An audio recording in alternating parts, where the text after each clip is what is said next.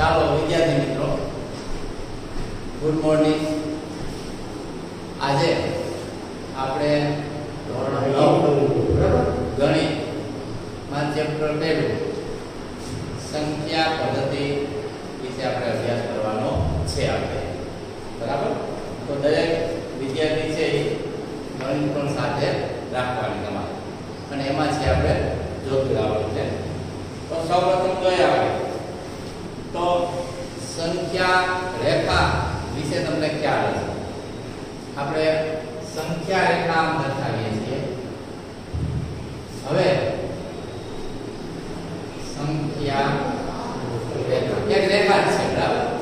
એની પર જુદી જુદી સંખ્યાઓ આપણે છે, લેવાની હોય છે તો સૌપ્રથમ સંખ્યા રેખા ઉપર આ દિશા છે એને ધન દિશા કહેવાય અને આ દિશા છે આ આને ઋણ દિશા કહેવાય બરાબર હવે ધારો કે તમે અહીંથી ચાલુ ચાલુ કર્યું સંખ્યા રેખા અહીંથી ચાલુ કર્યું એટલે એક બે આ રીતે આગળ વધતા જાવ ત્રણ ચાર બરાબર એટલે આપણે ચાલતું જવાનું અને જોતું જવાનું આ સંખ્યાઓ છે એટલે લેતી જવાની અને ખેડીમાં આપણે મૂકતી જવાની તો આ રીતે જે સંખ્યાઓ છે એક બે ત્રણ ચાર એ સંખ્યાઓને તમે ભેગી કરો તો એ સંખ્યા છે એને પ્રાકૃતિક સંખ્યા કહેવામાં આવે છે. કઈ સંખ્યાઓ કહેવાય છે? પ્રાકૃતિક સંખ્યાઓ. તો આ સંખ્યાઓનો સમૂહ છે ગણ બને છે. તો આ ગણને પ્રાકૃતિક સંખ્યાનો ગણ કહેવામાં આવે છે. તો આ પ્રાકૃતિક સંખ્યાઓ છે કઈ છે? એને સંજ્ઞામાં n વડે દર્શાવવામાં આવે છે. તો n ગણની અંદર સંખ્યાઓ છે 1 2 3 4 આમ અનંત સુધી આવવાની છે. તો આ સંખ્યાનો ગણ છે કયો કહેવાય છે? પ્રાકૃતિક સંખ્યાનો ગણ કહેવામાં આવે છે. તો પહેલો ગણ લીધો આપણે n ગણ છે એ કયો ગણ છે? પ્રાકૃતિક સંખ્યાનો ગણ હવે આથી આપણે આગળ વધીએ તો એની વિરુદ્ધ એક થેલી છે એ થેલીની અંદર પાછો તમારે જીરો નાખી દેવાનો તો જીરો નાખવાથી એક સંખ્યાનો વધારો થાય છે તો જીરો એક બે ત્રણ ચારથી અનંત સુધી સંખ્યાઓ છે આવશે આ સંખ્યાનો ગણ છે એને પૂર્ણ સંખ્યાનો ગણ કહેવામાં આવે છે. કયો ગણ કહેવાય છે? એને ડબલ્યુ સંજ્ઞા વડે દર્શાવાય છે? પૂર્ણ સંખ્યાનો ગણ. પૂર્ણ સંખ્યાનો ગણ કહેવાય છે. તો પૂર્ણ સંખ્યાનો ગણ લઈ તો પહેલા ગણની અંદર શું આવ્યું? કે અનંત છે? ડબલ્યુ ગણની અંદર શું આવશે તો કે 0 1 2 3 થી અનંત સુધી બરાબર અનંત સુધી સંખ્યાઓ આવતી હશે હવે ધારો કે એ થેલી છે તમારી આગળ હતી એમાં આવે, જે અહીંથી ધન દિશા ચાલુ કર્યા હતા, એને બદલે અહીંથી આપણે ઋણ દિશામાં આપણે જઈએ તો ઋણ દિશામાં જાય સંખ્યા તમે લેતા જાઓ. તો અહીંયા માઇનસ એક આવશે અહીં માઇનસ બે આવશે. આગળ વધ્યા માઇનસ ત્રણ આવશે ઋણ દિશા તો આ સંખ્યાઓ છે તમે થેલીમાં નાખો તો એમાં કઈ આવશે આમ અનંત સુધી આવવાની છે. જેમ આપણે આ અનંત સુધી ધન તરફ જઈએ, તેમ આ પણ અનંત સુધી ઋણ તરફ છે, જઈએ છે કોઈ અંતર આવવાનો નથી તો એ ગણ છે, એને આપણે ઝેડ ગણ તરીકે ઓળખવામાં આવે છે. તો ઝેડ ગણ છે એને શું કહેવાય? તો કે શૂન્ય સહિત ઋણ તથા ધન સંખ્યાનો ગણ પણ z z બરાબર શું આવશે શૂન્ય સહિત. ધન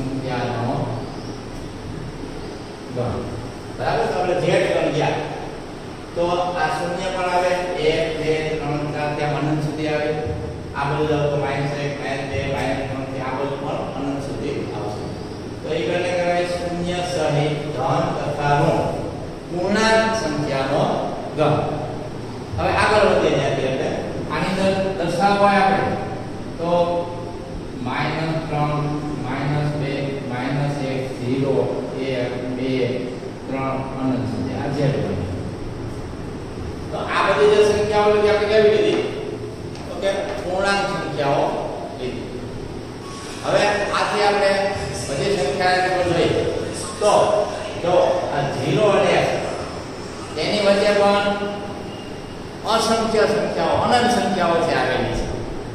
તો એની અંદર આ 0 અને 1 ની વચ્ચે આવે 1 2 ની વચ્ચે અસંખ્ય સંખ્યાઓ આવે 2 3 ની વચ્ચે આવે આ બધા 0 1 ની વચ્ચે પણ અસંખ્ય સંખ્યાઓ આવતી હોય છે. તો આવી અનંત સંખ્યાઓ છે, એના બે ભાગ છે. અમુક સંખ્યા આવી છે જેને આપણે સમય સંખ્યા કહેવામાં આવે છે. તો આ સંખ્યાઓ છે, દાખલા તરીકે આપણે બે ના છેદમાં આ એક અને બે ની વચ્ચે જોઈએ આપણે તો એક ના છેદમાં બે આવે. બરાબર? એક ના છેદમાં ચાર આવે. આવી બધી સંખ્યાઓ છે આ. ત્રણ ના છેદમાં ચાર. આ બધી અપૂર્ણાંક સંખ્યાઓ છે તો આવી સંખ્યાઓ છે, અપૂર્ણાંક સંખ્યાના પણ બે પ્રકાર હોય છે. તો એક બે સંખ્યા છે એને p ના છેદમાં q વડે દર્શાવી શકીએ. ધારો કે એને આપણે r કહેવામાં આવે. R બરાબર p ના છેદમાં q. બરાબર 3 ના 4 લઈ શકો. બરાબર? તો આ 3 છે p કહેવાય અને q છે 4 તો આમાં એક બાબત ધ્યાન રાખવાની છે. રાખ જે સમય સંખ્યા ગણ છે એમાં. સમય સંખ્યાનો ગણ એને q વડે દર્શાવવામાં આવે છે. બરાબર? તો q છે અંદર? તો કે q છે કેવી સંખ્યા હોય?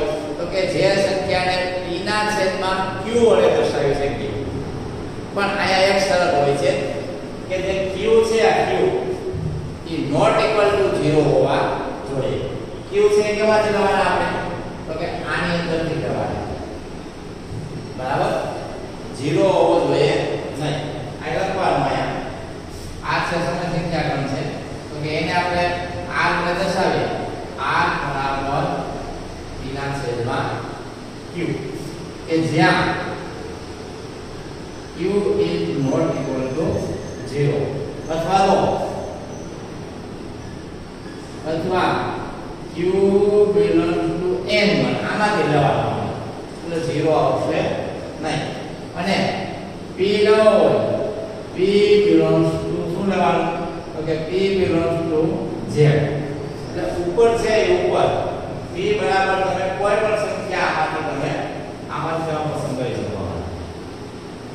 હવે આપણે q છે એ શા માટે 0 લેવામાં ન આવે? તો કે q બરાબર 0 હોય તો આપણને સંખ્યા મળે નહીં. એની વેલ્યુ થઈ જાય, અનંત થઈ જાય છે.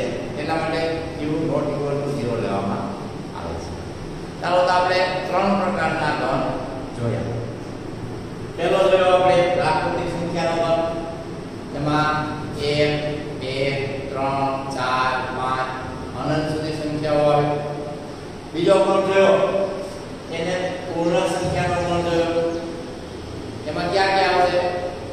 તો કે 0 1 2 3 પૂર્ણાંક સંખ્યાઓ બધી આવશે 0 સહિત એને પૂર્ણ સંખ્યાનો ઘન કહેવામાં આવે ત્યાર પછી આવે છે જેડ ગણ જે ધન અને ઋણ.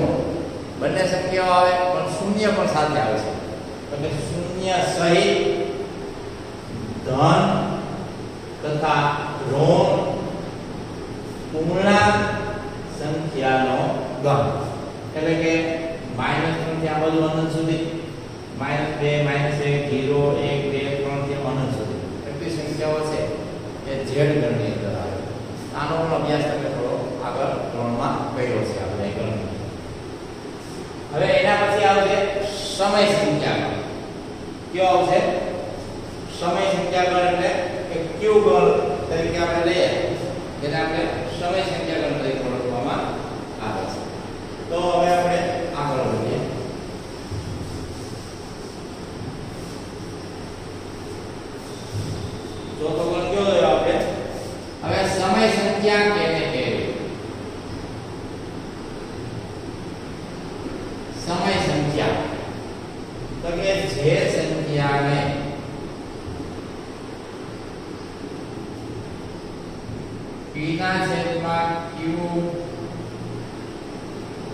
જ્યાં p belongs to r sorry p belongs to z અને q belongs to n એટલે કે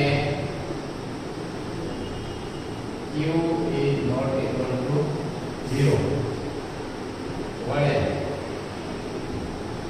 દર્શાવી શકાય તો તે સંખ્યાને સમય સંખ્યા કહેવાય સમય સંખ્યા કહેશે. બરાબર જે સંખ્યાને અથવા તો આ એવું લખી શકીએ જો સંખ્યા r બરાબર શું લખવાનું કે જો સંખ્યા r બરાબર p ના છેદમાં q જ્યાં p belongs to z p belongs to z એટલે તમે આની અંદરથી કોઈ પણ સંખ્યા લઈ શકો z ની અંદર આની બરાબર? છે p બરાબર કેવું હોય. તો આપણે માઇનસ ત્રણ માઇનસ બે માઇનસ એક ઝીરો એક, બે, ત્રણ. બરાબર? P ની અંદર તમે શું લઈ શકો? તો કે ઉપર છે p p બરાબર કોઈ પણ આવે. ઝીરો એક, બે, ત્રણ, ચાર માઇનસ એક માઇનસ ત્રણ બે માઇનસ કોઈ પણ સંખ્યા ચાલે બરાબર શું લેવાનું? તો q બરાબર ફક્ત એક, બે, ત્રણ, ચાર એવી ધન સંખ્યા જ લઈ શકો તો આ એક અપૂર્ણાંક સંખ્યા તમને મળે. તો આને કહેવાય છે સમય સંખ્યા કહેવામાં આવે છે. બરાબર? તો શક્ય હોય તો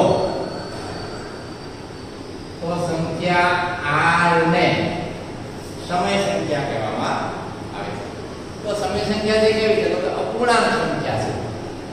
હવે બીજી પણ વ્યાખ્યા છે સમય સંખ્યાની ઘણી વ્યાખ્યા લખી છે બે ત્રણ વ્યાખ્યાઓ છે તો કે જે સંખ્યાનું દશાંશ નિરૂપણ અનંત અને આવૃત હોય તે સંખ્યાને સમય સંખ્યા કહેવામાં આવે છે બીજી વ્યાખ્યા છે આપણે કે જો જે સંખ્યાનું દશાંશ નિરૂપણ કેવું હોય શાંત હોય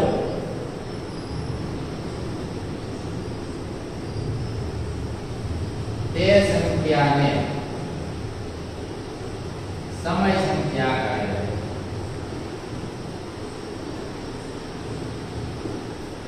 ઉદાહરણ ત્રણ પોઈન્ટ પંદર. જાય. એટલે શાંત કહેવાય.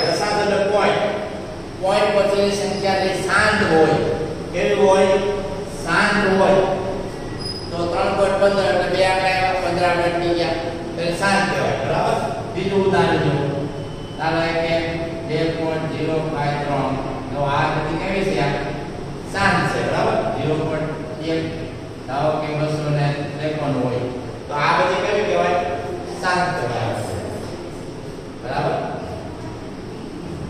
જે સંખ્યાનું દશાંશ નિરૂપણ એટલે પોઈન્ટ પછીના આંકડાઓ શાંત હોય એટલે અટકી જતા હોય આપણે ગમે ત્યાં.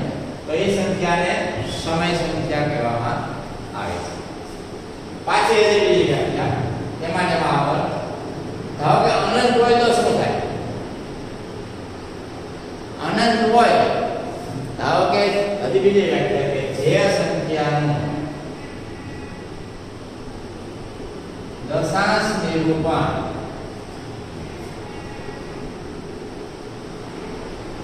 અનંત અને આવૃત હોય અનંત અને આવૃત હોય. આવૃત એટલે કે પુનરાવર્તન થતું હોય. આવૃત એટલે સંખ્યાનું પુનરાવર્તન થતું હોય. ભલે અનંત સુધી હોય, પણ પુનરાવર્તન થતું હોય. આવૃત એટલે કે પુનરાવર્તન. એટલે કે પુનરાવૃત હોય તો તે સંખ્યાને સમય સંખ્યા કહે છે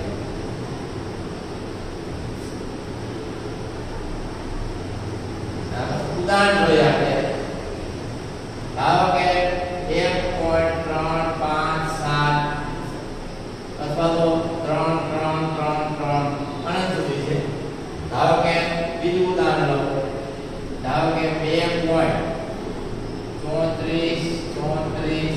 30 અનંત સુધી હોય તો કોઈ પણ આયા સંખ્યાનો પુનરાવર્તન થાય છે, આયાથી બે સંખ્યાનો થાય છે. ગમે તે સંખ્યાનો પુનરાવર્તન થવું જોઈએ. ત્રીજું ઉદાહરણ લો.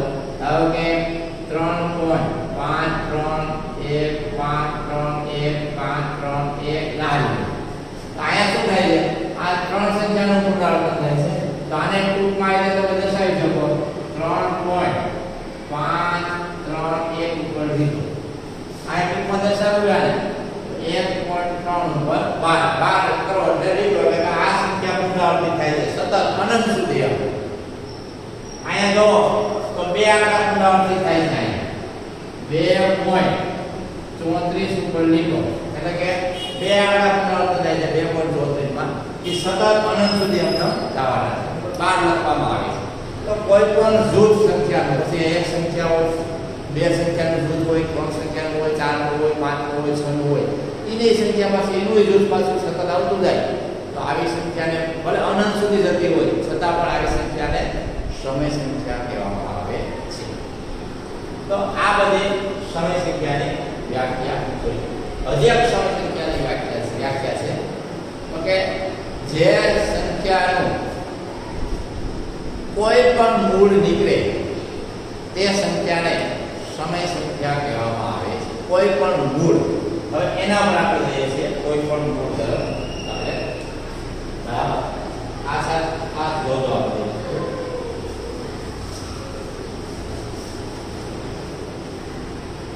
ચાલો આપણે હજી એક વ્યાખ્યા જોઈએ તો કે જે સંખ્યાનું કોઈ પણ મૂળ બરાબર મૂળ કે મૂળ એટલે શું તો કે વર્ગમૂળ હોય ઘનમૂળ હોય પછી અ, ચતુર્થમૂળ હોય પંચમૂળ હોય ષષ્ઠમૂળ મૂળ એટલે તો કે કોઈ પણ સંખ્યાને એક દુત્યાંશ ઘાત હોય તો એને વર્ગમૂળ કહેવાય જો સંખ્યાને એક તૃતીયાંશ ઘાત હોય એકના છેદમાં ત્રણ તો એને ઘનમૂળ કહેવાય જો સંખ્યાની એકના એકમાં ચાર ઘાત હોય તો એને ચતુર્થમૂળ કહેવાય તો કોઈ પણ મૂળ નીકળે નીકળે તો તે સંખ્યાને પણ સમય સંખ્યા કહે છે આમાં જોઈએ આપણે દાખલા તરીકે એક નો વર્ગ કરો તો એક બરાબર બે નો વર્ગ કરો હા આ આપણે જોઈએ આપણે એક બે ત્રણ ચાર વર્ગમાં તો કરતા હતા આ રીતે પાંચ છ તો આના બરાબર શું થાય એક તો જો મૂળ નીકળી ગયું તો આ કેટલી છે સમય સંખ્યા પછી આમાં નહીં નીકળે આમાં નહીં નીકળે આમાં નીકળશે આના બરાબર કેટલા થશે બે થશે વર્ગમૂળ ચાર એટલે બે તો આ પણ કેવી છે, સમય, સંખ્યા. બરાબર? પછી પાંચમું નહીં નીકળે છમું નહીં નીકળે સાતમું નહીં નીકળે આઠમું નહીં નીકળે નવમું નીકળશે. નવ બરાબર કેટલા થશે? છ. રૂટ સાત નહીં નીકળે, રૂટ આઠ નહીં નીકળે, રૂટ નવ એટલે ત્રણ. તો પણ કેવી થશે સમય સંખ્યા આ વર્ગમૂળ કહેવાય વર્ગમૂળ એટલે એક દુત્યાંશ ભાગ ધ્યાન રાખો ખાસ વર્ગમૂળ એટલે શું થાય તો આ ધ્યાન રાખો વર્ગમૂળ બરાબર સંખ્યાની એક દુત્યાંશ ભાગ ઘનમૂળ એટલે સંખ્યાની એક તૃતીયાંશ ભાગ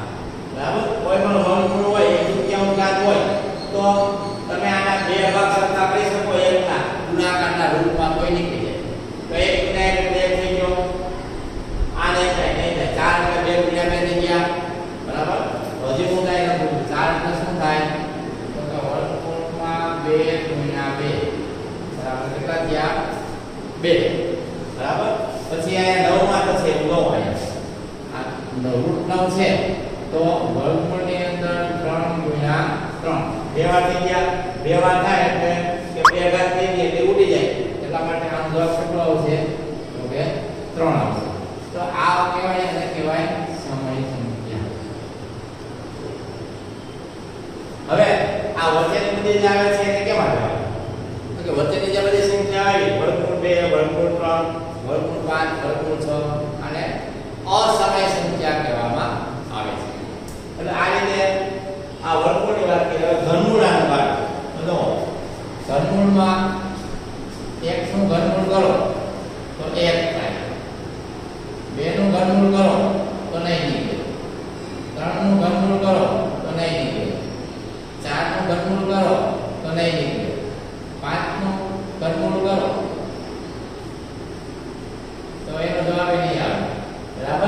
Só agora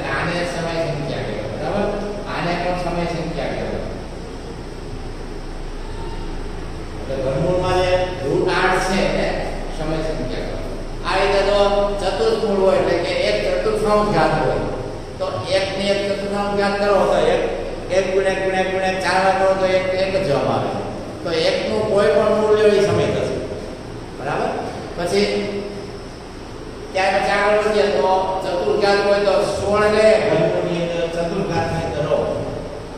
દાખલા કારણે ચતુર્ભુજ છે આ રીતે અહીંયા બે કિલો આ સોળ કિલો તો આ સોળ છે એનો જવાબ કેટલો આવશે? બે આવશે. આનો જવાબ કેટલો આવશે? તો આ ચતુર્ભુજ છે. કયું છે? ચતુર્ભુજ બરાબર? તો ચતુર્ભુજની અંદર આની વચ્ચેની સંખ્યા આવી હતી એક અને સોળની વચ્ચે. બે ચતુર્ભુજમાં બે હોય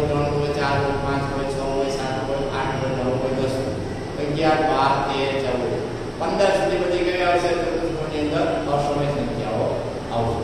પણ જ્યાં માં સોળ લ્યો તો બે ગુણ્યા બે ગુણ્યા બે ગુણ્યા બે ચાર વાર લો એટલે તમે જવાબ કેટલો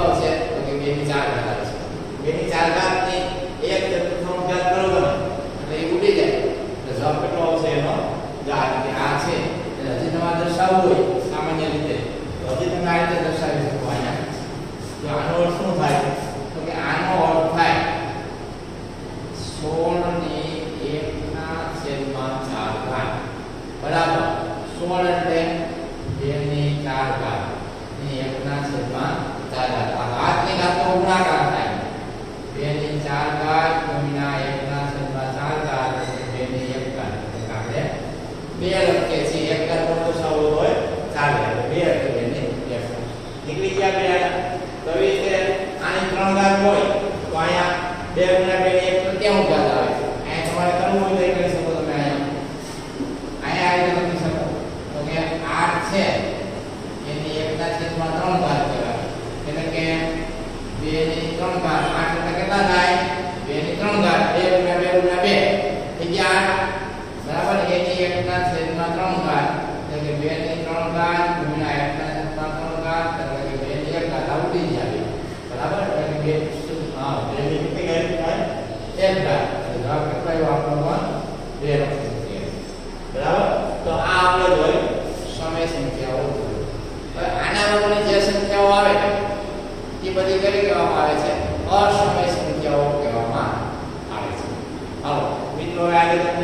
આ ધ્યાન રાખવાનું તમારે બધું કરવાનું છે દરેક તમને ખ્યાલ જોઈએ તો પહેલેથી